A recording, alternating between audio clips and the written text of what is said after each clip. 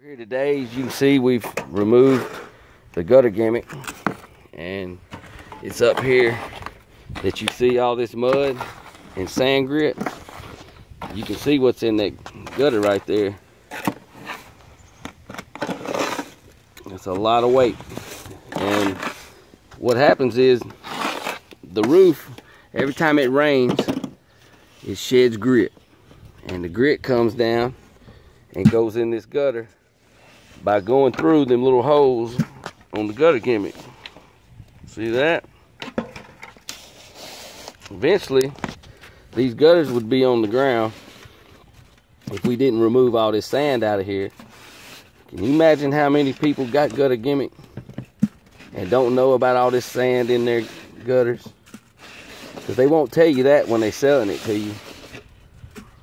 They don't tell you that. See all this debris down in here.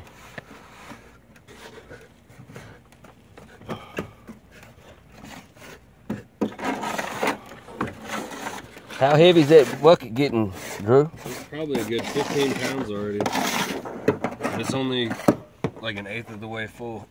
Yep. I'll give you all this. You can take this too with you.